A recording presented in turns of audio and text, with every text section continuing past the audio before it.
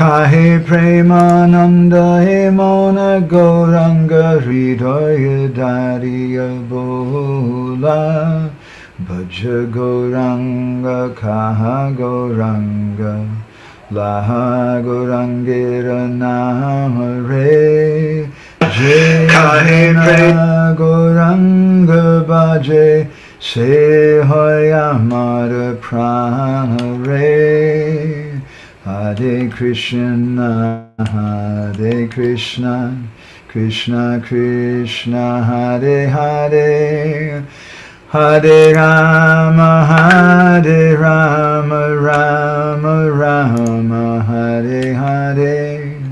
Yashaiva Padambuja Bhakti Labhya Prema Vidana Parama Pumata Tasmai Jagan Mangala Mangalaya Chaitanya Chandraya Namo Namaste.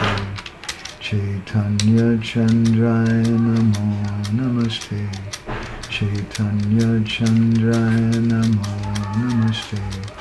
Madhgavirapi Gopala Svikriyat Kripaya Jadi Tadaiva Sambhaya Pitva Risha Yustat Priya Janaha Shri Krishna Krishna Chaitanya Sasanatana Rupaka Gopala Raghunatha Vrajabala Bapahimam Vanchakalpatarubhischa Kripa Sindhu Bhyevacha Patitanam Pavanebhyo Vaishnavebhyo Namo Namaha Jai Shri Krishna Chaitanya Prabhu Nityananda Shri Advaita Gadadha Shiva Sadi Gaura Bhakta Vrinda Hare Krishna Hare Krishna Krishna Krishna Hare Hare Rama Hare Rama Rama Rama Hare Hare So good morning, good evening dear devotees from Sri Jagannath Puri Dham. We just finished a nice parikrama today with a few devotees. Went to Gambhira, visited Bakor, a few places. Um, let's see, somebody commented something in the chat. So I want to continue with our previous chapter, but I'd like to begin a chapter of previous means what we did in our last session, uh, which is uh, the story about uh, the day that Krishna took sannyas, or uh, as it's titled in Embankment of Separation, Beggar of Prem. And most in our last session we mostly read. In this session, I'm based on what devotees said. I'm thinking to do a little bit of both. But first, I'd like to begin with uh, some looking back a little bit, some reflections, and just inviting devotees if anybody has any any reflections or questions or any thoughts about the last session before we, we go ahead and start. Does anybody have anything? Questions or anything about the last session? Okay, good.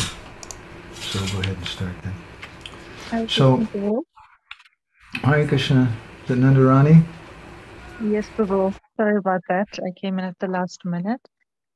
No problem. I, I uh, please accept my obeisances. I uh, just wanted to uh, check something with you, or and maybe it is has been a reflection since the last class, and uh, maybe I'd like a little more detail about it. But I've been thinking about how sometimes when we hear these pastimes, and we hear about, for example, the different moods between Radharani and Chandravali. Obviously, it's all in a very pure uh, state, and you know we can't understand how dedicated they are and how much um, of love they have for Krishna. Mhm. Um, but the one thing that I felt was that up to that point where we read the pastime, I always had a bit of a negative sense about Chandravali, and I don't know why. I, wa- I wanted to share that because it felt almost like we have this inclination to promote um, things about Radharani, and I know that you know but it's almost like Chandravali is presented as, um, you know, in a bit of a negative way. So I wanted to get your your clarity on on that. I hope it's not a controversial topic, but at any rate, and Mm-hmm. then just to move away from the actual personalities of Radharani and Chandravali and go up, go back to a bit more of an abstract idea in terms of the mood um, of assertiveness versus passive, you know, just how we then uh, take um, not their moods, I, don't mean their moods, I mean just in our own Krishna consciousness. If we are in more of a sort of passive frame of mind, if I can put it that way, does it mean that we lose out on getting mercy if we're not assertive enough? So those were my two points, Prabhu. Hmm. Okay, two very different points. Um, well, first of all, I, I, let me tell you a little story. Uh, there was once uh, one little boy who was, I don't know, five, six years old, and his father was a, a coach for a swim team. And uh, the little boy was visiting his father, and the swim team had just won some match or something. And out of respect and appreciation to the coach, they, they were all getting ready to pick him up and throw him in the swimming pool. And the little five-year-old boy who was there thought that they were attacking his father. And he started punching them and, and like that. And the father was trying to say, no, no, it's okay, it's okay. Don't do like that. So sometimes we pick sides like that little child who was me, five years old. Sometimes we pick sides, but we don't really understand what's going on. Some, from some perspective, it looks like, you know, my beloved father or mother, whoever is uh, being criticized, but there's something much, much deeper going on. So it's not unnatural for Gaudiya Vaishnavas to lack appreciation for Chandravali. In fact, in some ways, it, it's rather encouraged. There's a story about uh, Raghunath Das Goswami that every day he would take just a little bit of buttermilk. And it was just something was made in a leaf cup. So the devotees wanted to uh, give him a big leaf cup. And there's a place called Sakistali. And Sakistali is a place of Chandravali. And there happened to be a tree that had really big leaves. so they, they made this big leaf cup out of, out of one of the leaves from Sakistali so that they could offer Raghunath Das Goswami more buttermilk. So Raghunath Das, when he saw this, this, this uh, buttermilk cup, he asked him, where is this from? And immediately he knew. So, and they said, well, this is from Sakistali. And Raghunath Das Goswami became furious. He said, I'll not take it, I'll not have anything to do with Chandravali. you go go away. Because Raghunath Das Goswami is Tulsi Manjari in Krishna Lila. And he's very much on the side of Srimati Radharani. But like the the example I gave of myself as a little boy and my father, we hear things like this and then we may think, oh, I'm against this team, I'm for this team. But we don't really know anything. We haven't really joined any team yet. We're still uh, trying to get rid of anarthas, still trying to, to become Nishtha or Bhajan, and, and it's a bit of a joke. At the same time, um, these writings are there from our Goswamis, and they should be there. And we should have some understanding of it. We should develop some understanding of it. And we should know that our understanding in the beginning is just theoretical. Because this, the Bhagavatam itself is a Bhava Granta. Maybe we were speaking about this in our last session. It's not just something about Siddhanta, but it's a book of emotions. And it's not just like, like Ishopanishad or some Upanishad, which is meant for us to understand some philosophy and things. And there is philosophy in the Bhagavatam. But ultimately it's meant to understand Bhav. So we should understand that philosophically, what the mood is and things, but we should, philosophically, we should understand also that I don't have that Bhav, right now, and and, and it, I'm just an intruder, just like if you wanted to, to go to some party of some Hollywood personality or something like that, and decide this person is, is my hero, my friend, or something. You can't just walk into the party. You can't just become a member of the party. And we can't just walk into Radha Krishna Leela and say, here I am, and I'm ready to join up with, with the Leela. It just doesn't work that way. But at the same time, it doesn't mean that we shouldn't understand something about it in a philosophical way. But we should be careful. Uh, Chaitanya Prabhu is commenting that he loves the difference in the mood between Radharani and Chandravali, where uh, Radharani says Krishna belongs to me, and Chandravali says I belong to Krishna. So as far as your other comment goes about being assertive, well, again, it's a matter of relationships. And we can, I, have seen the, the, best relationship I, I, can have some understanding about maybe is the relationship I saw with my Guru Maharaj and different devotees and that I had myself. And some devotees, they come to such a personality and they're afraid. I'm sure it's the same thing with your Guru Maharaj. Some devotees are afraid of him and they want to keep away from him and they just want to fold their hands and bow down. And that's their understanding of what's appropriate. And other devotees, they have a perhaps a deeper understanding that no, he's a person and he likes personal exchanges and things like that. He likes something natural and relaxed. And there's truth to that. But we can't just show up and slap Gurudev on the back and say, yo, dude, how's it going, man? you know, here I am, and just try to imitate some uh, something. Uh, there should be both things there. Guruda Suridarido. Uh, Guruda Sarvasorido, I think is what uh, Prahlad Maharaj says, that we should have an attitude, a firm friendship toward Gurudev. That's not the, I'm not, I'm not getting a Sanskrit, but it's something Guru Sorido, so it means friend we should have an attitude of firm friendship toward Guru. But firm friendship is something we have to develop. You have children, and as children grow older, you, they'll have more of a friendly relationship with you. But it's not that, that all of a sudden they just start calling, they start saying, your, your, your, your oldest boy says, hey, Nandarani, how's it going today? You know, something like that.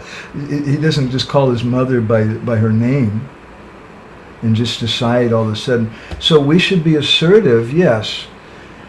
It, we want something, but again, this is in a, in a relationship, and relationships are personal, and, and we have to touch the heart of somebody. We have to act in a natural way.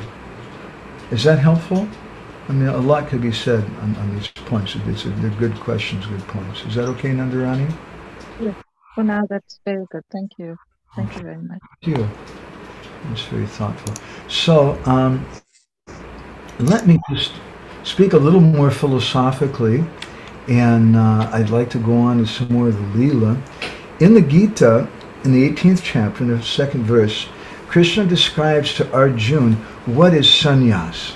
Kamyanam karmanam nyasam sannyasam kavayo vidu sarva karma phala tyagam prahus tyagam vichakshanaha. Uh, he says that, that, that sannyas means kamyanam karmanam nyasam. Uh, nyasam mean, means to, to give up, uh, to renounce activities which are with kama or, or with personal desire. Mm-hmm. This is the meaning of sannyas. So then the natural question comes with Krishna, how? Krishna is everything. Krishna, he's completely self-satisfied. He doesn't need anything. He doesn't have any, any lust. This is the, the purport to the story of uh, Krishna Nitya Brahmachari, which appears in some Upanishads, how Krishna's internal brahmachari. And I don't want to go through that whole story right now. But uh, I will touch on it very quickly. That uh, Krishna once, the gopis once asked, Krishna mentioned something about his guru.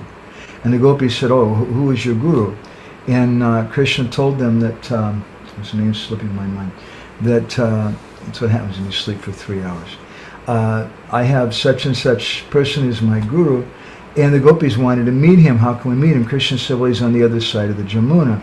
Well, how can we go there? Well, Krishna said, well, you just say this mantra, and the Jamuna will part waves, water for you, like the water parted for Moses, and you can cross over. What's that mantra? Krishna Nitya Brahmachari. So they chanted that mantra and the water parted and they were able to cross over and they met Durvasa Muni, Krishna's guru.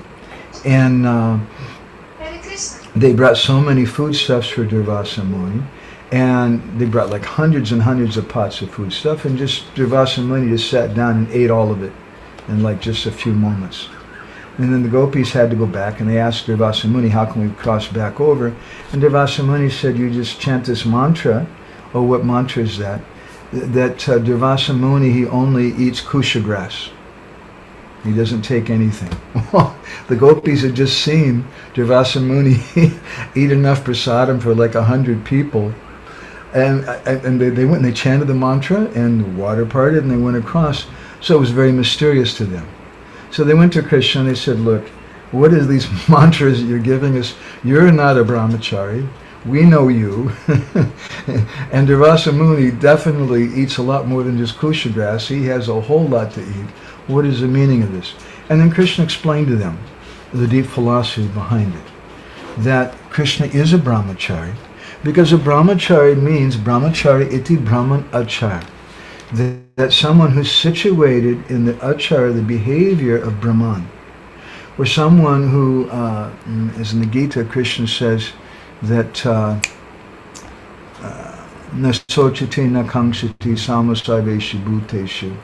that the, the, the meaning of, of being on the Brahman platform is you don't lament, you don't hanker for anything, you treat everyone in an equal way, so Krishna said, I, I, am a brahmachari. I, I'm not acting on my own lust. Krishna has lust. The gopis also have lust. But it's very, very difficult for us to understand, as we were commenting in our last session, Atmavan Manate Jagat, we see things through our own perspective.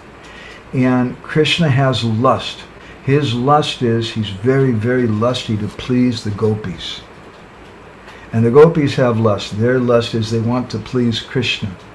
And that's all they want to do. They want to please each other, and that's their, their deep, heartfelt lust. So in that sense, Krishna is always a brahmachari, because he doesn't want anything for himself. And in that sense, Krishna also can take sannyas. Kamyanam karmanam nyasam sannyasam kavayo vidu that learned persons, they understand that sannyas means this thing, kamyanam karmanam nyasam, means giving up all activities. Uh-huh. That's the meaning of sannyas. So we spoke something in our last session about Manbhanjana Leela. It's a very, very deep subject matter. It's a postgraduate topic, but there is nothing wrong with studying something postgraduate. Otherwise, Srila Prabhupada would have told us don't read teachings of Lord Chaitanya and definitely don't read Krishna book or Nectar Devotion. But he didn't do that. Rather, he wanted everyone to read those books and to be able to quote them and understand them. So there's nothing wrong with studying a postgraduate subject, but we should approach it in the proper way. Not in a sentimental way, not in, in, in, a fantasy kind of way, thinking that I'm I'm ready for this, but in a way to just that I should understand what, what lies ahead of me. Otherwise, how will I make progress on this path? So we wanted to understand something about man. Huh? In Ujjvala Nilamani, Srila Rupa Goswami, he says that there's four different types of separation. Purva ragas, tatamanas, prema vachicha nityapi prabhasas katitam yata uh, vipalambas chaturvida.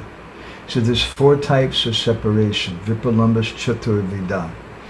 And that begins with Purvarag, before Radha and Krishna meet. They've heard about each other. And there's different examples of that. I'm not going to go so much in that direction today. We might go more into it later. And the second is Man. Man as we mentioned in the last session, I think, is two types. There's hoitiki man and ahoitiki man. Anger with a reason and anger without a reason. And as we commented, uh, every husband can understand, God gave women the right to be angry for no reason. And sometimes Radharani's angry Krishna because he did something bad. And sometimes she's just angry. and that's and that's something which actually Krishna gets pleasure from. And we also spoke a little something about that. And there's prema vaichitya. Prema vaichitya means a kind of madness when the lover and the beloved are actually together, but they're feeling separation. The example that my Guru Maharaj gives is, is at Prem Sarovar at Barsana, when Radharani is sitting on the lap of Krishna, and a bumblebee comes uh, buzzing around her lotus-like eyes, and Madhu Mangal drives it away with a stick and then proudly proclaims that Madhusudan is gone. Madhusudan means a bumblebee. But Madhusudan is also a name for Krishna. And when Radharani hears that comment, then she thinks, oh, my Pranavallabha Krishna is gone? What's happened to him? And she starts crying in separation, and her tears begin to form this lake Prem Sarovar. Krishna sees her crying. He also begins crying in the same mood. And the, the tears of the divine couple make that pond Prem Sarovar. So they're together. She's sitting on his lap, but they're feeling separation. This is called Prema Vaichitya. And if we ever give some discussion uh, from the book Mathura Meets Vrindavan, or, or Lalita Madhav, which is the final section of that book, uh, we may speak something more about prema vaichitya. It's a very amazing condition, and that book gets a lot more into it.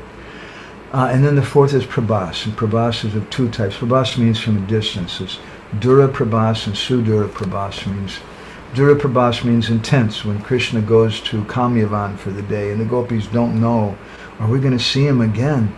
It's been three, four hours we haven't seen him. That's called Dura Prabhas. But Sudura Prabhas, very, very intense separation from a distance, is when Krishna goes to Mathura or Dwarka. And the gopis don't know, are we ever going to see him again at all? So the book Embankment of Separation is meant to help us to understand this mood of separation. And why this mood of separation, Srila Prabhupada writes in one purport, is the treasure of Gaudiya Vaishnavas. It's something that Sri Chaitanya Mahaprabhu came to give. What does it mean when we say it's a treasure? It means it's something very valuable that he's come to share with us. It means that it's something that we can get. And this, this Prabhas is a most intense type of separation. We can't uh, begin to understand it. Maybe, maybe, maybe we can uh, understand some uh, some separation in the beginning. But even that, for most of us, is going to be a very high thing. But as one devotee once asked my Guru Maharaj, he said, you always say that we should cry for Krishna, but that seems very theoretical. How can we do that? And Guru Maharaj replied, after I leave this world, then you'll be able to cry. So we say that Sakshadarit Vinasta Master Shastra. I don't know Krishna, but I know Gurudev. And he's a manifestation of Krishna for me because he's giving me Krishna bhajan. He, he, in that sense, he is Krishna because Krishna and his name are non-different. So uh, when I feel separation from Gurudev, I'm feeling separation from Krishna also. And in the case of Gurudev, we may feel Duraprabhas when Gurudev goes away and he goes to some distant country and we it's been we may not see him for a few weeks or even a few months. And then there's Sudura Prabhas when Gurudev leaves this world and we don't really know am I ever going to see him again.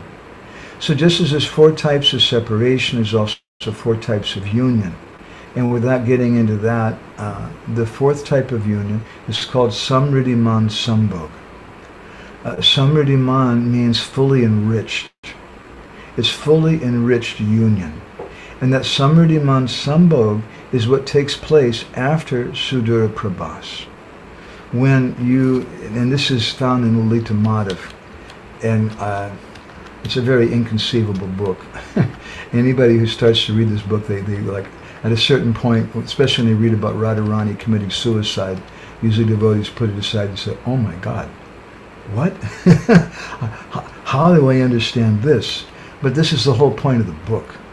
That even though Radharani, Krishna's left Vrindavan, and it seems like Radharani's never going to be able to see him again, and in separation she commits suicide. And of course, there's no question of Radharani committing suicide. She has an eternal spiritual body. Uh, she goes to Suryadev, and he and he gives her to his devotee. Uh, and I, I couldn't hear what you said. Satrajit. And she becomes known as Satyabhama. And that's a whole another thing. But finally, Radha and Krishna are united together. That's Samriddhi Man Sambhog. When the, when the union is impossible, when it's completely impossible, how can we meet him, Gurudev again? Gurudev has left his body. Gurudev has left this world. How is it possible to meet him again? But if, we, if that happens, that thing which is completely impossible, that's fully enriched union. So that's dependent upon uh, Prabhas. So it's important for us to understand something, at least theoretical, about these subject matters. As we commented in our last session, I have heard from some senior, from some disciples of Srila Bhakti that Srila Bhakti forbid the devotees from speaking about Radha Krishna Leela in public, but then he said, but you can speak about pastimes of separation that's legal. Because pastimes of separation between Radha and Krishna mean Gaura Lila. When uh, Krishna and Radharani are feeling intense pangs of separation from each other, so much so that the lover and the beloved become one, that's Gauranga Mahaprabhu. So in our last session, we read from the second chapter, and uh, I'd like to ask everybody again, and this time, did anybody actually read this uh, chapter yet? Anybody? Okay, thank you, Nam Sankirtan Prabhu. Vrishabhanu, you've read it before, I think, right? Krishna Balaram Prabhu, did you read? Yes, Prabhu. Thank you. Nandarani? Sorry, Prabhu, I missed your question. What did you ask if we read? Did you get a chance to read the second chapter of Embankment of Separation? Yes, I did. Okay, thank you. Anybody else who also had a chance to read it? Chaitanya Prabhu or Krishna Kun's here. She, she read through it. Okay, thank you. I really appreciate it. I hope it wasn't too much of an austerity. I have a feeling it wasn't. it's a pretty uh, astonishing chapter. Um, so I'd like to continue where we left off in our last session. We were hearing about this Manabhanjana Leela and about how Radharani became very angry with Krishna because Krishna went to the Kunj of Chandravali. And Radharani then forbid him from coming to see her. And then Krishna, not knowing what to do, he took shelter of Brinda Devi. And Brinda Devi said, yes, I know what to do, but uh, it's not such a simple thing. You're going to have to give up this Gopavesh, the dress of a cowherd boy. You're going to have to shave your head. You have to give it a peacock feather.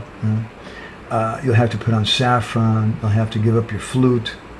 Uh, instead, you'll have a khanjani, like a tambourine kind of thing.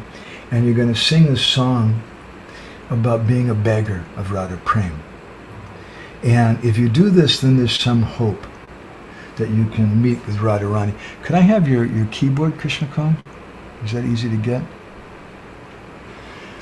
And then uh, Brinda Devi, she taught Krishna this song.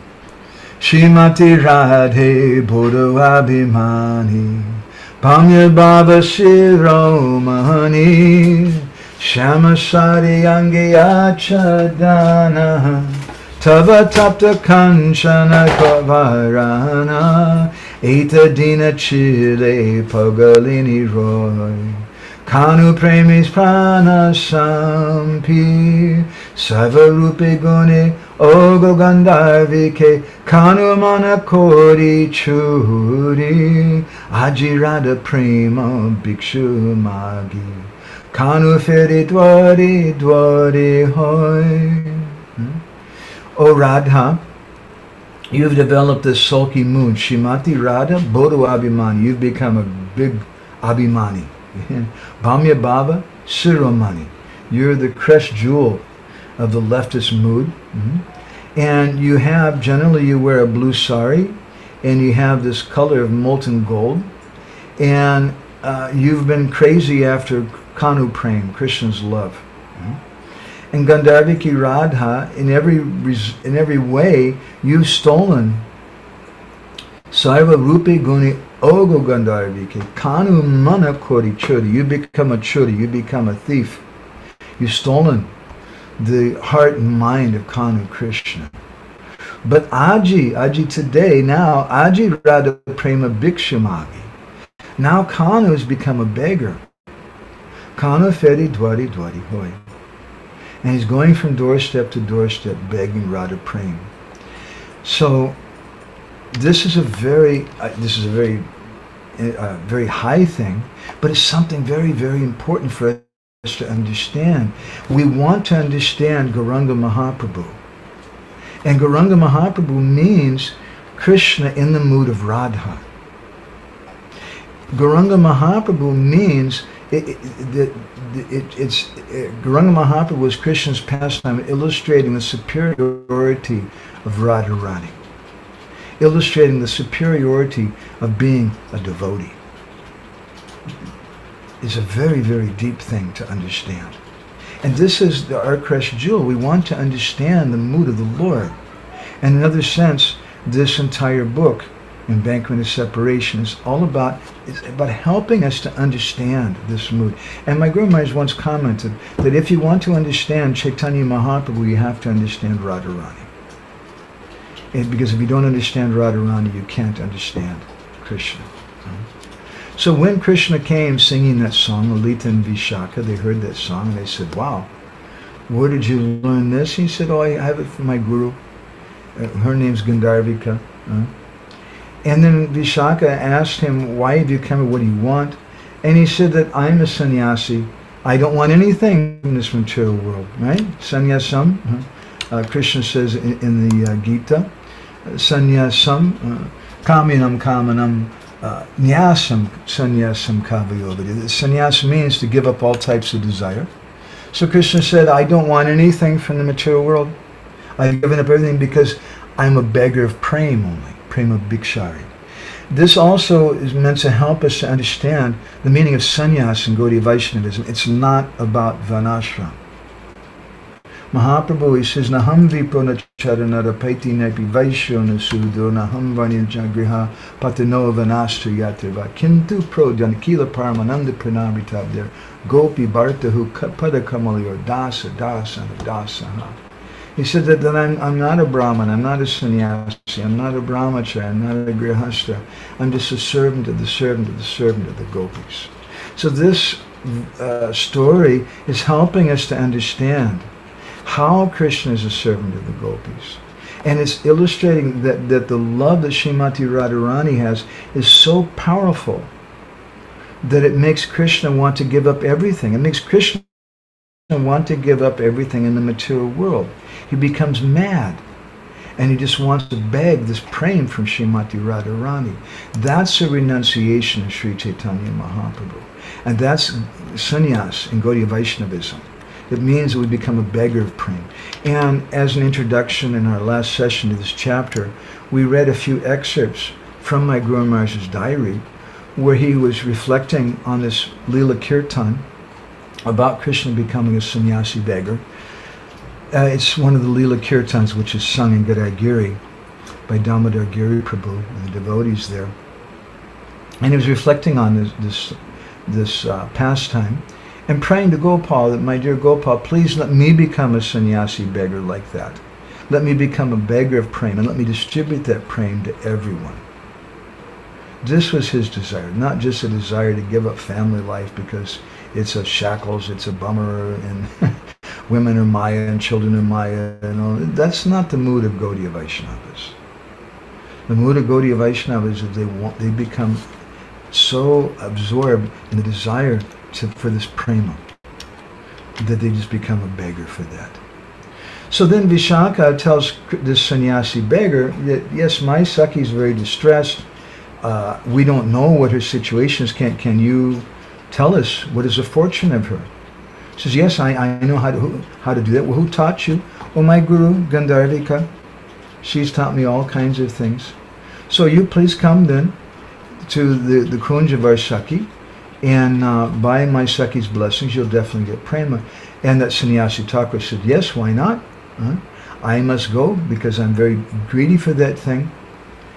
And so they took the sannyasi Thakur in, and then Vishaka asked him, would you please sing that nice song again? And the sannyasi Thakur, Krishna, said, yes, that's my favorite song.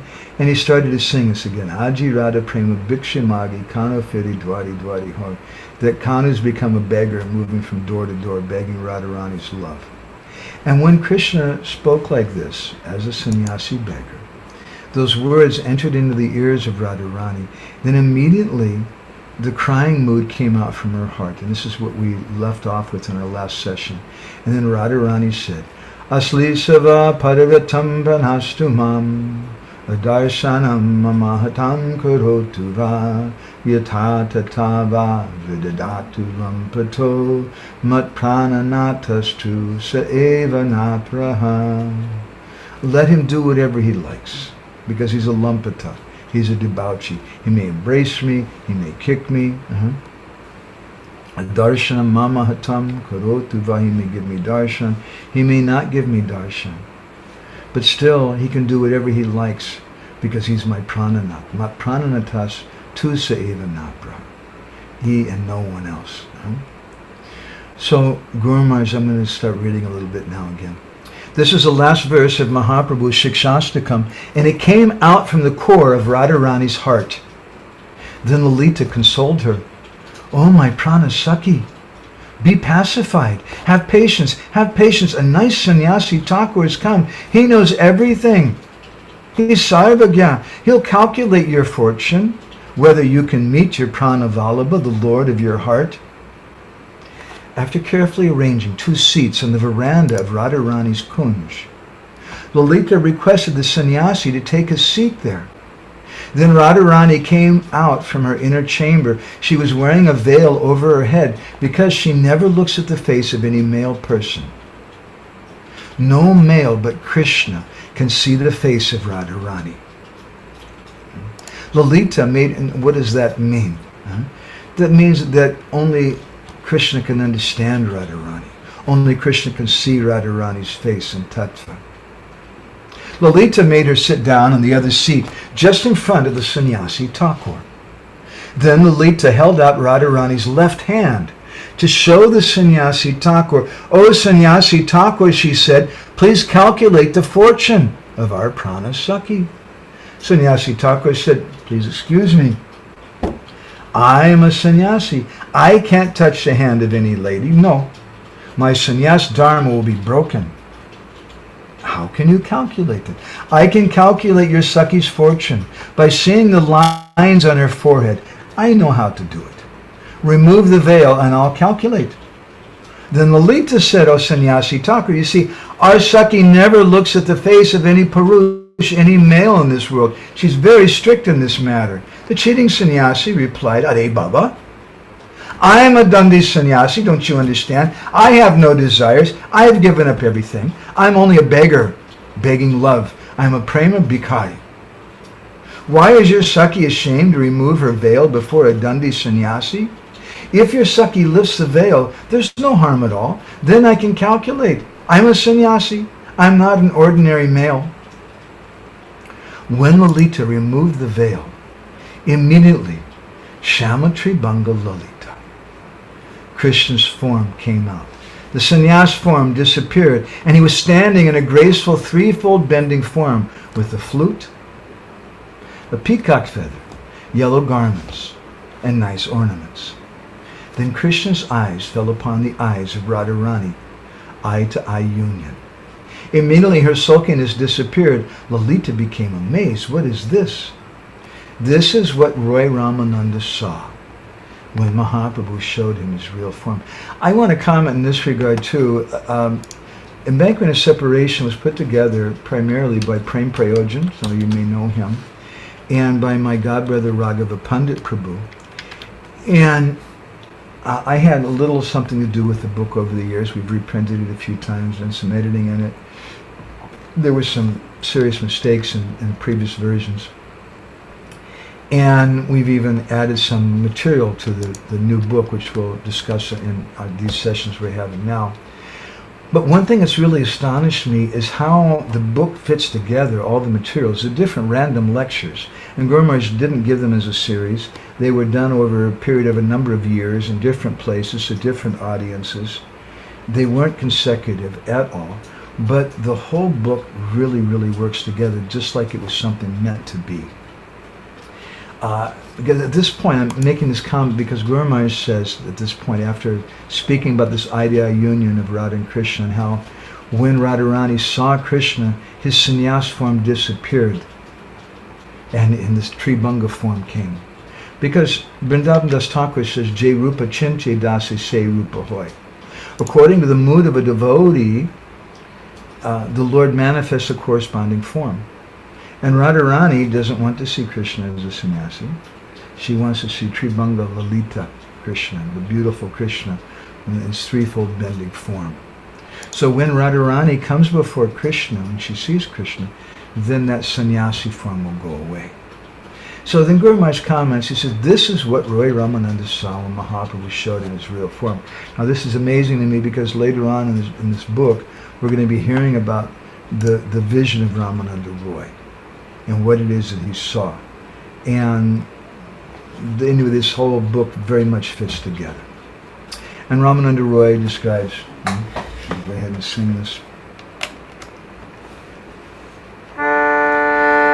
पहिले देखिलुम थोमा सन्यासी स्वरूप एभी थोमा देखी हुई Shyama गोपरूप Ramananda Roy told Lord Sri Chaitanya, At first I saw you appear like a sannyasi, but now I'm seeing you as Shamsundar, the cowherd boy. Roy Ramananda saw Shama Sundar. As soon as the sannyasi form disappeared, Krishna's uh, Shama form appeared. Roy Ramananda's Vishaka Sakhi Braj Leela. So he's seen these things. Tomara Samuki Deki Kanchana Panchalika. Tanra Gora Kanche Tomar Sarva Anga Daka. So that I saw you like a golden doll.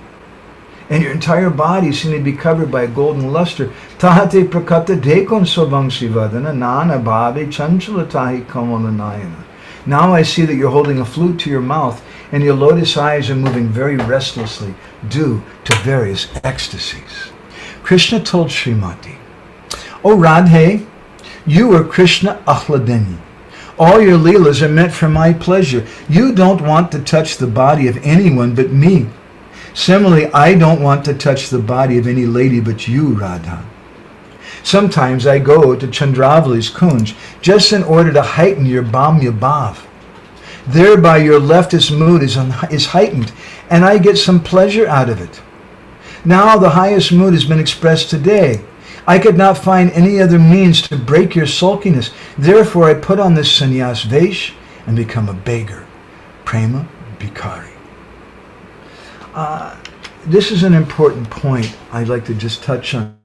For us, again, this is very high philosophy. This is very high lila we may think I, I have no entrance into this.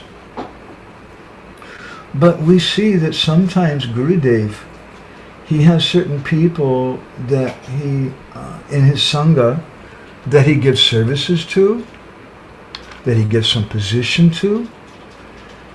And sometimes it's very difficult to understand why it is that, that that's done. But Gurudev, he behaves in such a way to uh, increase the, the mood of the devotees. Gurudev is acting in a way to give Krishna pleasure. Once my grandma, someone asked him some question. Uh, it, it, it, the answer he gave would have been a perfect answer, I think, for someone had asked, how is it that Krishna allows the Russian army to invade Ukraine? grandma Maharaj's, I don't know, that, that wasn't the question, but it was something to that effect. And Maharaj's comment was, he says that uh, this world is just like a football match. And sometimes the ball is with this team, sometimes it's with another team, sometimes the ball is up in the air, and Krishna is watching it and getting pleasure from it. Similarly, Bhaktivinoda Thakur in Kalyana Kalpataru, Krishna is getting some pleasure because there's a big drama. And there's a huge, huge drama. And, and the biggest drama means when somebody apparently is dying. But Radharani's not dying. And nobody dies. And Krishna doesn't think that anybody's dying. And we shouldn't think that anybody's dying. But Krishna, he's getting some pleasure seeing, not, not from that drama, but he's getting pleasure seeing how the devotees behave in that situation. Yes, Krishna Kram. Okay, see, you like that. and that's that's the drama. Krishna becomes so very, very pleased by seeing that thing. So sometimes Krishna actually puts on something for a purpose, just like we have the example in Gaura Lila of Ramachandra Puri, who was such an obnoxious person. He was trying to find fault. He was criticizing Chaitanya Mahaprabhu and all the devotees. But that same Ramachandra Puri is Jatila in Krishna Lila, according to Kavi Karnapur. So Jatila's purpose is to uh, give some opposing element in Krishna Lila, because without that opposing element, there can't really be rasa. And Krishna gets some pleasure from that. So therefore in Kalyana Kalpataru, Bhaktivinoda Thakur, he says that, that uh, yeah, it says Lila Pushtikari that the purpose of the demons in Gaura Lila is to nourish the Lord's pastimes. They're there. Otherwise, where where is the, the question of, of any glory? So we, we should understand that, and we should understand what why Chandravali is there. And this has some relevance for us. We may then understand also why it is that, we have to go through different problems and things. Once I came to my Guru to give you an example, uh, personal example that I think you can probably all of you have had a similar situation. I went to him I said, Guru you told me I should make this Krishna Kathamrita magazine, and I, I know you want it. I believe Prabhupada wants it, and our previous acharyas want it. I think it's very good. It'll be very helpful. But what I don't understand is why is it so hard? Because uh, it would take me a, a week to express to you all the, the obstacles that I found in doing that service, and it was so hard. And when I said that to Guru he got this kind of stern look on his face, and he leaned back in his chair, and he nodded his head, and he told me, he said that Gopal wants to test you. So love means there's always going to be some test. Just like a, a boy comes to a girl and says, hey, I, I love you, baby. Uh, but if uh, the girl is wise, she's going to test that love. Oh, is he saying this to every girl that he meets? Huh? Is that love going to stop at a certain point? So we're always being tested. And that's something that's being expressed also indirectly in this pastime. Previously, when Radharani was crying, Lalita told Krishna, one day you'll have to cry like that. And so now he's always crying in the form of Mahaprabhu. So this is so important. We should understand what is the crying of Sri Chaitanya Mahaprabhu. This is how Krishna has to cry. Krishna has to cry and become a sannyasi, begging for Radha Prem, the love of Radharani. Otherwise, I cannot pay back the debt. Napadiye, napadiye, Krishna says, I become indebted.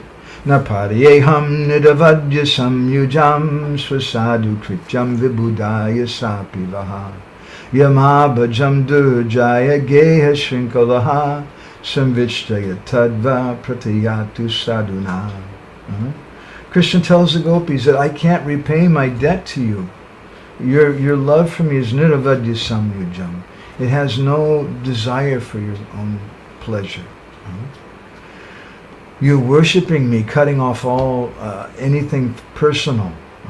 Therefore, he says, Samvitsayatad vipratiyatu sadhuna. Let your own glorious activities be your compensation. That means the bhajan of the gopis. Guru Maharaj comments, here Krishna says, I cannot pay back the debt, O gopis. You have such love for me that you've broken all rules and regulations, all Vedic regulated principles. At the dead of night, you've come running to me. This is Raganuga Bhakti. No rules and regulations. So Krishna has become indebted, and to pay back this debt, he came in the form of a sannyasi, a completely different form, not bent in three places, no nice curling hair. Now his head is shaved, his yellow garment is saffron color, and he's begging for Radha Prem. That is Radha Bhav. He had to come in this sannyas form, otherwise he could not pay back the debt. Now Krishna is moving in that form, which is a combination of Radha and Krishna. Rasaraj, Mahabhav. That is Chaitanya Mahaprabhu.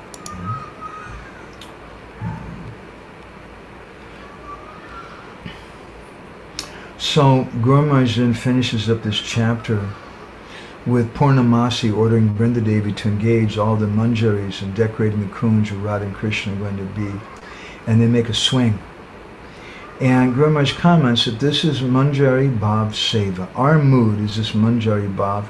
We just offer service to Radha and Krishna in that mood. And he sings this wonderful song, Radha Krishna Pranamor Jugala Kishore by Narottam Das Thakur, which uh, indicates that my prana, my life, uh, is to see Radha and Krishna come together. Jivane Marani Gati Arnahi more. In life or in death, I have no other goal than this. I want to see Radha and Krishna sitting together. Kalandira Kuli Kali Kadam Biravan. Not in New York, not in Detroit or Paris, but I want to see them in a kunj. And I want to, to come to them and I want to bring Gatiya Malatir Mala. I want to bring one garland and put it around both of them because I want to see them together. Lalita Vishaka Adi Jata Saki Brinda, Agyaya Koribo Seva Charnada Binda. And to do that, I have to take the Agya, the order, from Lalita and Vishaka and all the different gopis, so that I can render this service. This is a song about Manjari Bhav. Now Das Thakur is singing for us. So then Guru Maharaj uh, gives some translation for the song. And um, he then describes another song, Roy Kanu Dui Bashila Julana Ratna Manopari. How Radha and Krishna are sitting on a swing while the gopis are swinging them and their feet are decorated with golden ankle bells which make a tinkling sound, Runa Juna Runa Juna. On the hand of Sham Sundar is a golden bangle. Similarly on the hand of Radha is a golden armlet. Sham is wearing a garland of forest flowers around his neck and Radharani has around her neck a necklace of pearls. Krishna's holding a lip to his flute, a flute to his lips. The sweet singing of the flute is calling Radhe, Radhe, Esho, Esho, Radhe. Oh Radhe, Radhe, come, come. And uh, Mother Yashoda has bound Krishna's curling hair very nicely. Radharani's hair is hanging in a braid. And at that time all the gopis come and they're dancing and singing the glories of God and Krishna. Some are bringing water, some are swinging the swing, some are fanning the, divine cup of the chamra, some are playing in mridanga, some are playing kartal, some are clapping their hands. While Lalita Saki is offering artik. And then he says, when by the mercy of my Guru will I serve Radha and Krishna in the mood of a manjari? So this is the meaning of sannyas. I don't, none of us in this session today have taken sannyas. And uh, Krishna Balaram Prabhu, you can't do that. You have to get permission from your wife first, uh, Chaitanya Prabhu. But if we get sannyas, what is the meaning of that? Uh, there's a mantra that we have. It's a gopi mantra. I, I know that mantra. It's a very simple mantra. All it is is the person chanting is meditating that I'm a gopi. And this indicates Manjari Bhav. And this sannyas is all about that.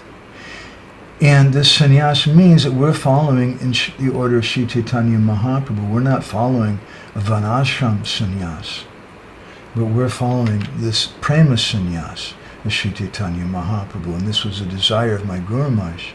And therefore he shared this very wonderful story, which helps us to understand the mood of Sri Chaitanya Mahaprabhu. So I want to stop there. I wanted to finish a little earlier than this so we could hear something from everybody. Um, I'm a little confused. I have some idea in our next session to tell you one or two other Leelas, just to, about the same topic, just to illustrate to the devotees about how widespread this concept, this conception of the Krishna being a sannyasi beggar, because I don't want you to go away thinking, oh, that Gaura Maharaj made something up or he speculated something. But this is a, a, concept we find in a number of places in the writings of different acharyas. And it's a very deep concept, and, and we can explore it in a few other different ways for some of the different leelas. I'm thinking to do like that. Vrishabhanu Prabhu has some question. He says, is Purva Rag also experienced after Radha and Krishna's first meeting? Of course. Purva Rag, or uh, the beginning of separation before the meeting is there. There's different, there's different steps, different stages, different levels of that. And one is that they've just heard about each other. Another is that they've seen each other from a distance. Another is that they've exchanged glances. And another is maybe they've exchanged some meeting, some messages. Rupa Goswami describes like that also. So there's also some sense of purva there because there's a sense of uh, lack of satisfaction, a sense of urgency, a desire to meet uh, when they haven't been able to, they haven't yet met to their full satisfaction. Those are all different symptoms of purva rag. So, Hare Krishna, thank you, Vrishabhanu Prabhu. So I just want to ask the devotees now if anybody has any reflections or comments that you'd like to share with us.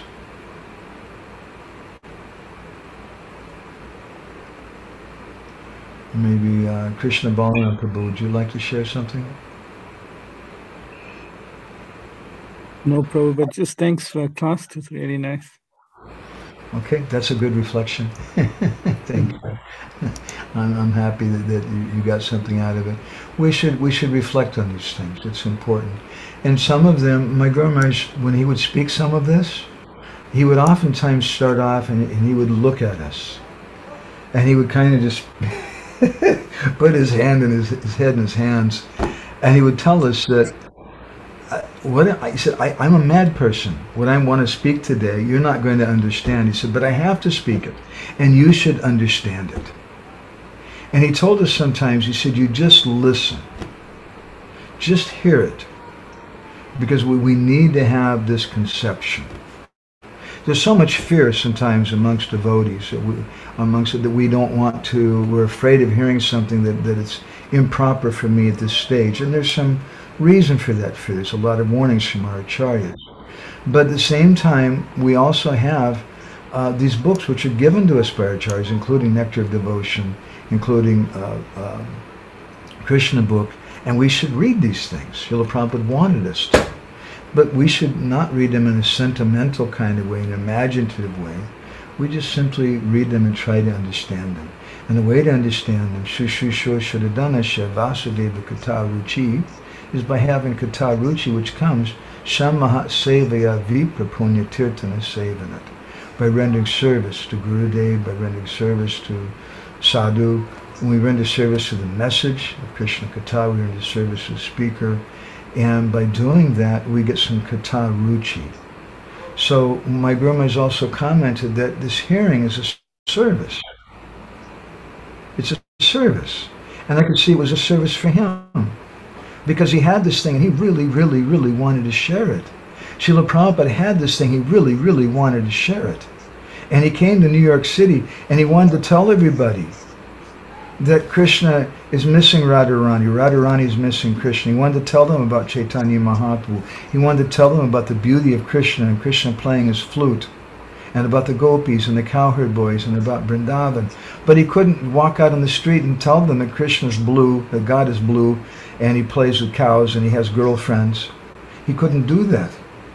But little by little, when people started coming to him and they had faith in him, then he wanted them to hear this. And Srila Prabhupada was very, very pleased when the devotees eagerly heard that. He was looking, where is that person who's eager to hear this? So my Maharaj oftentimes commented that when we hear, we shouldn't hear for our own personal sense gratification. Again, the same point Atmavan Maniteja got is there, that we think that, that, that you know, hearing is something like going to the movies where we're, we're doing something for some entertainment. Wow, I really liked that class because it was very entertaining. That's not the purpose of it we're hearing as a service, a service to Radha Krishna, a service to Chaitanya Mahaprabhu. They're going to be pleased. We're trying to understand their mood. The service to Sadhu and Guru, they're pleased when they see that we want to hear from them. So Guru Gurudev, this is the best way to please Guru Gurudev, by sincere hearing. From that's the thing he's looking for, not just lots of money and donations or, or food or someone jumping up and down and singing Jai Gurudev but he's looking for someone who wants to hear the message that he's got, who's very eager for that. And that person who's very eager to hear that, that person will become guru himself. Because the qualification to speak is a desire to hear. It's a very, very important thing. So, um, Lalita, would you like to share anything? Any, any prize that you won today? Madhavananda Prabhu, that's my mum. Um, she's a uh-huh. little on the shy side. Uh-huh. So she might not um, unmute at this stage. Okay, but I must tell you that we, we do we do reflect on your classes together, so it's quite nice. Um, okay. We do chat about it between the two of us. Well, thank you. Do any reflection you have today, Nandarani, you want to share? Um, Nothing much from me, Prabhu, but I just want to. Actually, I was reflecting on how nicely you are carrying the message of your Guru Maharaj. Um, I think it's it's actually it made an impression on me for some reason today because it's just so clearly our process of Guru Parampara. So thank you. well, thank keeping, you for that. Um, keeping that, yeah. Thank you. That, that's an encouraging comment. I, I have to be very honest and say something we'll all say, but I, I'm not qualified and I have so many disqualifications, but I have one strong feeling in my heart. And that is if I'm going to open my mouth, I should try to please my Guru Dev. And although inside there may be so many rotten things, but at least intellectually I should know that what is his pleasure, what is what is it that he speaks, and if I'm going to talk about problems in the world, problems between grihasta couples, problems between countries, problems in, in, the, in, the, in our society, so many different troubles and things, the solutions that they offer, in, in the language of, of Maharaj, I like very much how he says this. I've heard him many times tell devotees, he said, I'm sorry, but I only have one solution. I only have one solution, and that is Krishna Katha. and Krishna Kirtan. That's the only solution. And by speaking like that, we know that he's a follower of Srila Prabhupada. Because he's giving the solution that Srila Prabhupada gave.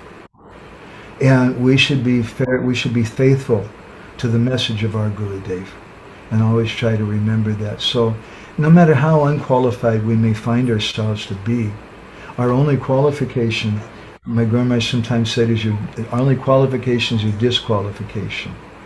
That we feel I'm not qualified and therefore I should just repeat what I've heard without speculating or changing anything. So thank you, Nandarani. I appreciate that. Mukunda, do you want to share anything, or Viren, or, or anybody else here? Uh, Prabhuji, um, you know, you spoke about anger before. I was just reflecting on a, a pastime you know, like here you have uh, Krishna and Radharani. Radharani gets angry at Krishna and so forth. But sometimes, you know, the Lord also wants this anger because he relishes this anger. And I read a pastime recently on uh, Lord Chaitanya. And uh, it's, it's a book called Prema Vivarta, Transformations of Anger. And it speaks about Satyabhama, and Rukmini. Whereas Rukmini, when she's angry at Krishna, she keeps it within herself. But Satyabhama, she doesn't keep it within herself. She lets it out. You know, she's outspoken. And in Lord Chaitanya's pastime, Jagadananda is Satyabhama. And at one stage, Lord Chaitanya wanted to relish this anger of Jagadananda. So he went to visit Jagadananda and he made Jagadananda very angry. You know, so angry. and then at the height of this anger, Mahaprabhu kindly asks him, uh, Jagadananda, I'm hungry. Will you please cook something for me? so Jagadananda, while busy cooking, he's angry. And Mahaprabhu is sitting and looking at him and just relishing his anger because he wanted this anger. He wanted to experience it again. You know, so this is like a different type of anger, which is so hard to explain sometimes. so that's one thing I wanted to say. And then another thing is, uh, I've read an article on Gaur Govinda Maharaj speaking about Prema Vaichitya.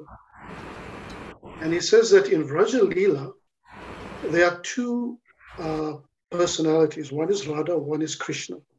They are separate personalities. And he describes this river, river flowing in one direction. And on one side of the embankment is separation, the other side of the embankment is union. And he says that these two don't meet. But then he goes on to qualify, as Rupa Goswami says, that in very rare circumstances, these two embankments come together. And when these two embankments come together, that is Lord Chaitanya. That is Prema Vaichitya. And Prema is nothing but Lord Chaitanya, nothing else but Lord Chaitanya. And I thought that was such a deep, powerful thing to say, you know, because here we have two containers coming into one container. And I can only but imagine what Mahaprabhu must be going through dealing with all of that union and separation in one body. I mean, it's it's something else, you know, altogether. Amazing, you know, it's really amazing.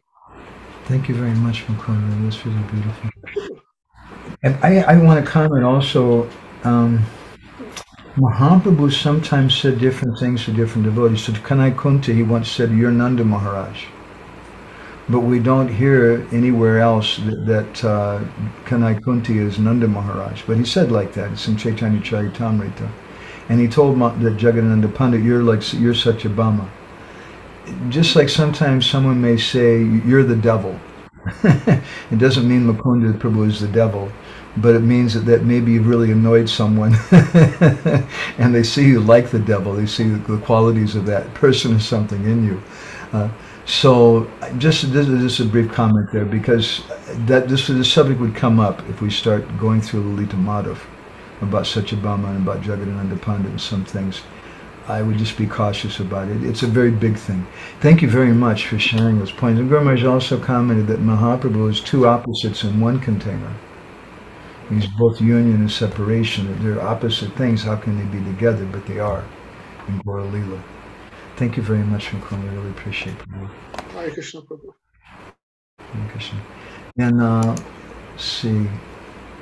Uh, Nam Sankirtan, would you want to share anything?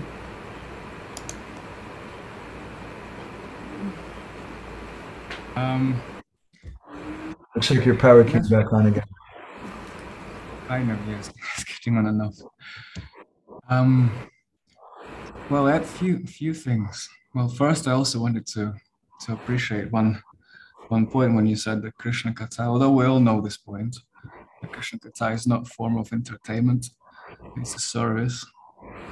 And uh, it's kind of very, uh, you, only slept for three hours today and you're still giving the Katha and so enthusiastically, and you can see how you you've been transformed as you would go into the pastime. So this is a really wonderful example of um, Krishna Katha is really a service, it's not just a form of entertainment. One, one thing I wanted to ask is, although it's, it's really theoretical, but you said that uh, the mantra for, um, for sannyasi is a, is a gopi mantra. So how, and just in general, you spoke about this also, but in general, how this concept of sannyas works within the institution does it mean that everyone who is sannyas. Oh, boy.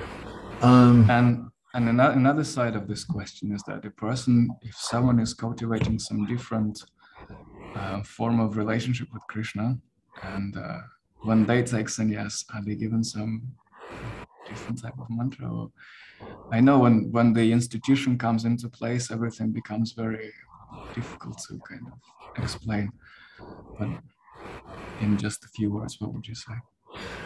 Yeah, I, will say something a little controversial that I, that I often tell to the sannyasis in my kind of uh, impudent way.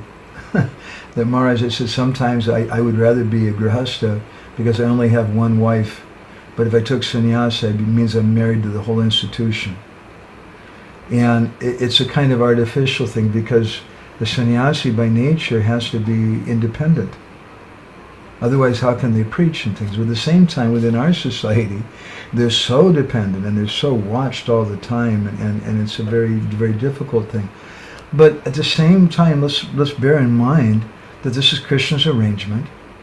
This is Prabhupada's arrangement. And there's some reason for it. It may be difficult both for the sannyasi and for the followers of the sannyasi. I feel terrible sometimes when I see how the sannyasis, we treat them like, like they're five-year-old children or something we have to watch them always and give them instructions and like this and that. It's painful for the devotees also sometimes, but I see that as part of Krishna's arrangement and as part of the drama in our society. And the sannyasis, they, they have to tolerate that and they have to go on for the purpose of, of the society. So uh, we, today we were at the Gambhira. And whenever we go to the Gambhira, I always remember Radhanath Maharaj. And Nam Sankirtan was a disciple of Radhanath Maharaj. I, we speak in the Gambhira about the importance of learning to live alone in the crowd. An example to me always is Radhanath Maharaj and how I see on yatras when he's got five or six, seven thousand devotees, and you see him in the midst of all these adoring followers, he's completely aloof, and he's absorbed in some internal thing. He's alone, although he's in the crowd. And so I, I see this principle in Jagannath Puri. As we oftentimes comment, we see the Jagannath Puri University of Braj Prem. It's a, a schoolroom where Mahaprabhu was teaching us how to develop, to do bhajan, develop Braj Prem. Each one of the different tirthastalas is a classroom in that school. And the Jagannath Mandir represents organized religion. And as much as we all like to complain about it, and everybody does, from the sannyasis to the new bhaktas to the congregational members, and from America to New Zealand and China and Japan and, and Russia and everywhere else, everybody complains about it. Uh, at the same time, it's necessary. We need organized religion. The Jagannath Mandir has a lot of problems also. They, did, they weren't allowing Haridas Thakur inside. Haridas Thakur installed the deities. He's Lord Brahma. they wouldn't allow Rupa and Goswami inside the temple. They had politics. They had all kinds of problems.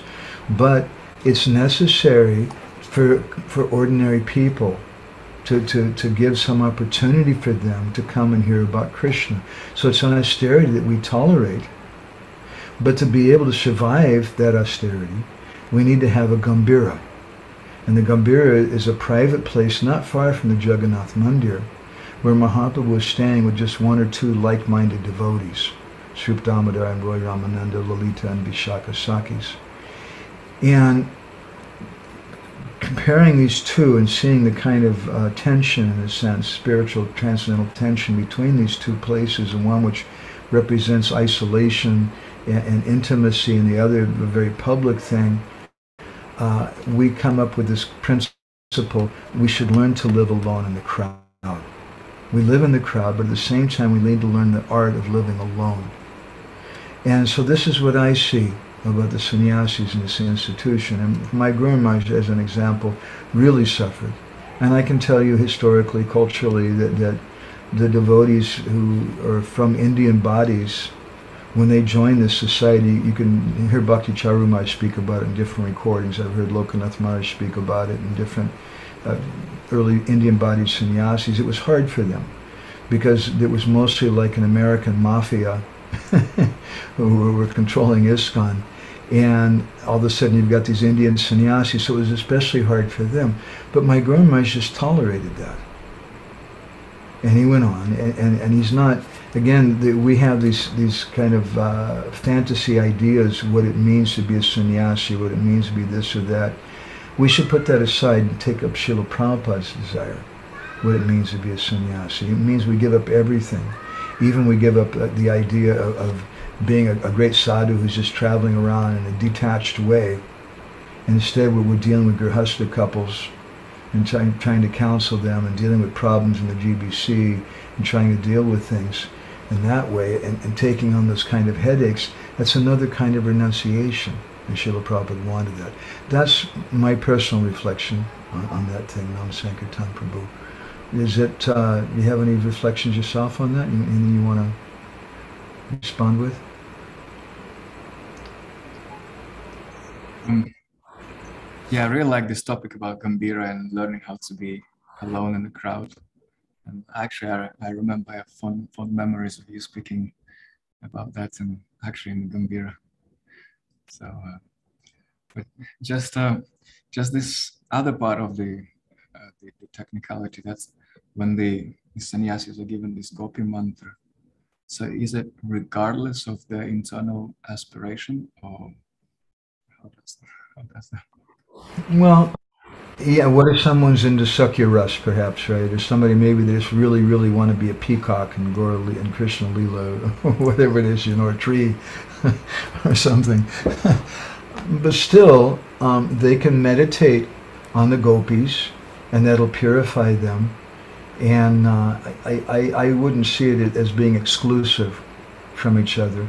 I would comment, though, that if we study deeply the Anarpita Charim Chirat verse written by Swarup Damodar Goswami, which I think is the fourth verse, as I recall, in Krishnadas Kaviraj Goswami's Chaitanya Charitamrita, that uh, Surati, Swabhakti Shriyam, that's Manjari Bhav, which Sri Chaitanya Mahaprabhu came to give. He didn't come to give. In, in our Gaudiya line, it's an interesting point I've spoke with different scholars, including our Fakir Mohan Prabhu, who, who did extensive research going to all the different groups of Gaudiya Vaishnavas. And in all the groups, nobody teaches about Sakya Ras, first of all. There's no groups, even even in the line of Gauridas Pandit. And that they, they, they have something officially, but they also speak about Manjari Bhav.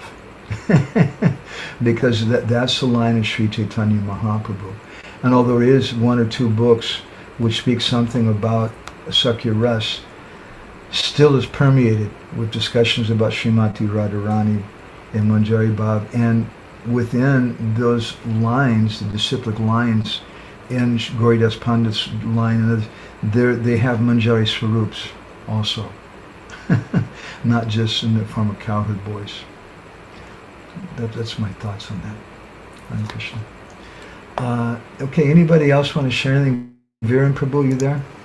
She loves or, or, I'm sorry, Vrinda Devi, you had something. Vrinda Devi's here in the room. She's going to have to ask Krishna Kun to translate for her. So you can speak real loud in Russian. I don't. Oh, Nam Sankirtan Prabhu Baba understand you. He's a Russian speaker, and you'll be able to hear it on this mic if you speak loudly. And Krishna Kun will translate. Really speak loud. Um, Спасибо большое за глубокую. Я сегодня поняла новое значение слова брахмачари, Кришна брахмачари. Для меня это было открытием. You, you, you give an understanding for me Krishna Brahman and Acharya. And don't understand how Gopi, uh, uh, когда они хотели перейти, ему Дурвасамуни сказал, Скажите Кришна Брахмачари, и Муна пропустит. И гопи улыбались, потому что они не понимали, как Кришна Брахмачари. И что... Krishna Khan, can you, can you... I'm trying to understand the question. Okay. Э, да, Дурма Самуни сказал, скажите Гопи, ему э, пропустит вас, когда вы скажете Кришна Брахмачари. И они тогда не понимали, почему Кришна Брахмачари. Но действительно, если Браман и Ачарья, новое значение для меня сейчас открылось, если, если я правильно зажму. She's saying that uh, in the Durvasa Muni story, uh, where the gopis are supposed to say uh, Krishna is a brahmachari. She didn't understand why why Krishna is a brahmachari. Okay. Uh, but now again, even besides what you said, that brahmachari means Brahman and Acharya, and how Krishna is acting in this way. So the meaning of this word became more clear. Uh-huh. Yeah, Brahm, Krishna just, describes in the Gita, Brahma Bhuta Prasanatma Sochati Nakamshati Sama Sarveshu Bhuteshu Madbhaktam Labate Param. That what is this this Brahma Bhuta platform? Na Sochati Nakangshati. They're not hankering, they're not lamenting. It's not that Krishna is lusty over the bodies of the gopis. And because he's not, he's a brahmachari although externally he's dancing with all these ladies and he's having very intimate, loving relationships with them. But in actuality, because brahmachari iti brahman achar, that, that uh, brahmachari means someone who's situated in Brahman. Na sochiti na sama sarveshu bhuteshu treats everyone equally. Okay? Good. I'm glad it helps a little bit. And uh, Viren Prabhu, are you alive? You there? I'm, I'm here, Prabhu. You want to share any thoughts? Anything you liked? You win any prizes today? win any prizes? No, no. um, I think this just one thing, Prabhu. You know, when you're talking about the pastime, I, I forget the actual comment that you made. Uh, entered the kunj. Um, but the one thing that stuck out to me was the the pastime where, and I, you're gonna have to correct me. Time when Krishna wanted to extol and show the world uh, the glories of Srimati Radharani, her unique position, and he feigned uh, being ill, and I think it was uh, Purnamasi, I think that says, you know, anyone who can carry this pot that has a hundred holes can take it fill it, um, and then they come back. So it, it spoke about chastity and purity, and um, someone whose mind doesn't deviate for a second from the object of their love. Um, and yeah, sorry, that was that was the one thing that that came to mind when you're talking about you know Krishna entering the uh, or, or the the grove now when we shrimati Radharani was. And I was just thinking about how unique um, her position is and how Krishna actually extolled it through that pastime. Yeah, and therefore, it's described by our acharyas too that that uh, Jari Gora Nahoita, if Gauranga Mahaprabhu had not come, Kemani Darita, what would all of us have done? How would we ever known about the glories of Radharani? Before the time of, of Mahaprabhu coming, we didn't know about Radharani. That's a very, very deep point. And it's a very important point in, in, in Embankment of Separation, this book, that this book is meant to help us understand Radharani. Gauranga Mahaprabhu is coming to help us understand Radharani because, and, and he's doing that by coming to understand her himself. he also can't understand. And though him trying to understand Radharani, he can help us to understand Radharani. And he can help us to get that Swabhakti Shriyam, that, that hot, topmost type of bhakti, which is service to the Sakis, service to the, the being a maidservant to the, to the, uh, the Sakis of Shrimati Radharani. So thank you, Prabhuji. I appreciate that. Okay, anybody else with any reflections or comments? Vrishabhanu Prabhu, did you have anything else? I'm fine, Prabhu. Thank you so much. Thank you, Prabhuji. Nice to hear you guys. Oh, and Chaitanya Prabhu is here also. Should we let Chaitanya Prabhu say something? I'm good, thanks, Prabhu, in the interest of time. Good. Hare Krishna Prabhuji. Thank you very much, Chaitanya Prabhu. I, I really appreciate it. I know uh, you guys are doing so much. I, I see, you know, taking care of your family, you're working a job, you're helping with the mission in South Africa, doing so many things, and it's very, very inspiring. I'm just, I just feel like a lazy hippie, you know, who's avoided all kinds of responsibilities like that, and I'm just, just here doing nothing. I, I'm, I'm humbled by, by your situation. Anything, anybody else here in the room want to share anything? Okay. All right, so go ahead and stop there. And we're not so late. Um, um, uh, is it? How does everybody feel about finishing at this time? This is a quick question. Is this okay for everybody? Yeah, this is good time, Prabhu. It's okay. Yeah. Actually, yeah, I, I, I think you, I should probably give about a half an hour for reflections from everybody. I, I, I think that that's required. I, I, I was going to try to do it in 15 minutes, but it's really not enough time. And I, and I personally like very much. Um, any comments and reflections from anybody? How do you feel about staying on with this chapter and letting me fluff it out a little bit more from different perspectives, kind of historically into literature? Or should we just go on to the next chapter? Any reflections from anybody about that? It's more fleshing, Prabhu. Yeah, I agree with that. It's, Okay. it's, it's amazing, uh, honestly speaking, Prabhu, it's amazing going through all the depths of all these um, all these elements and really analyzing all the different moods and the intertwined elements that's there. It's, it's fascinating. Yeah, and let's just be peaceful. Let's not freak out about it. As I mentioned before, when we printed the story that we- we just told today, one devotee wrote to us and unsubscribed from the Bindu. he said it's too high for me. I, I can't. I can't have this thing. We don't have to become frightened, freaked out about it. We should just listen in a sober way. And, and it, it is nice. It's nice to the heart. It- It's okay to like it. it's legal to relish it.